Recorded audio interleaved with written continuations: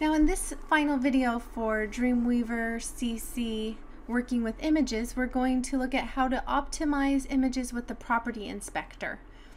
So we'll be using Dreamweaver to scale and optimize images for the web. So we're in news.html and we're going to go into design view. So I'm going to unclick live. So now we're in design. And then we're going to insert the cursor at the beginning of the shopping green saves energy heading. So let's find that one. There it is, right at the beginning. And we're going to choose insert image image. Insert image image. And we're going to get over to our images.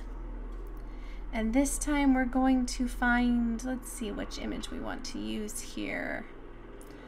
Um, I'm thinking, I think the farmer's market. Do we like that one? Yeah, I think we like that one. There we go. Already an issue, but we'll work with it. We're going to need to first add our alt text buy local to save energy. So our message we're trying to convey. And we're going to apply the class float right to the image. So we're on the image class float right.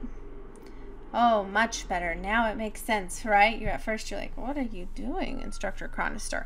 I had that plan all along.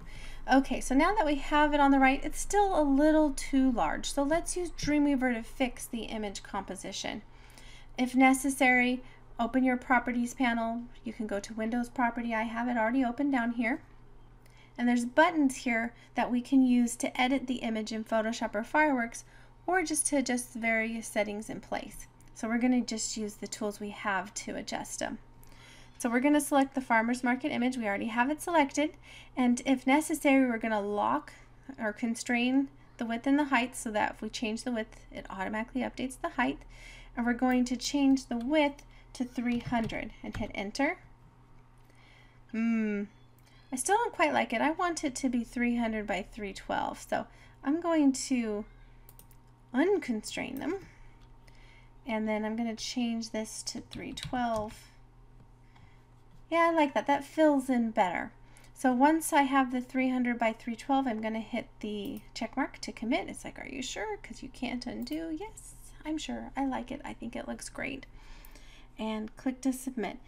And that's how we resize images within Dreamweaver. So if you bring in an image that's too small, Please don't just apply classes to make it smaller with percentages. It still is going to drag your website down if it has to load the large file than just to shrink it.